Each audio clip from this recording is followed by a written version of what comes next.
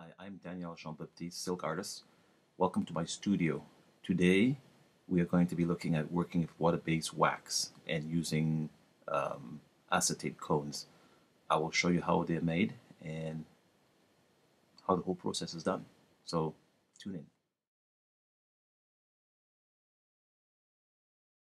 This is my water-based wax cone. Um, it works with gravity. Notice it's larger at the top and then tapers out quite fine at the bottom.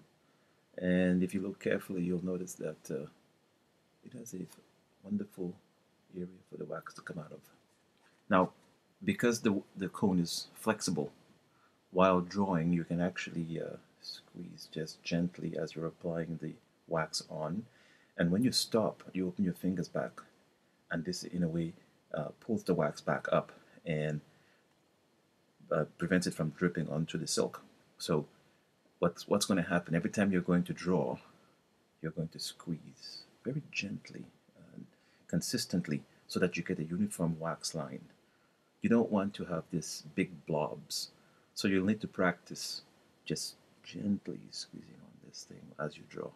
If you'll notice, um, this wax that is in the cone is actually black.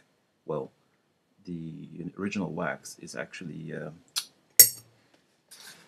white or it goes on clear. But when you work with water-based wax, you can also use a water-based paint to color your wax. So you can end up with colors like black or uh, gold. I mean, whatever you want to mix, you can create it. And the good thing with water-based wax, you're not going to poison yourself with uh, all these thinners and uh, carcinogens. How is a cone made?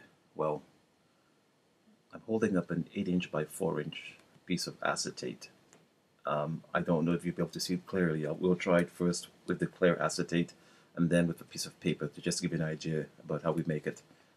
Here it goes. We go end over end, twist, keep twisting, and look at this wonderful thing. There. I'll show you how to do it with paper. Okay. So, 8 inch by 4 inch piece of paper. We go end over end, twist, keep twisting, twisting, and here you go. A wonderful cone for dispensing wax.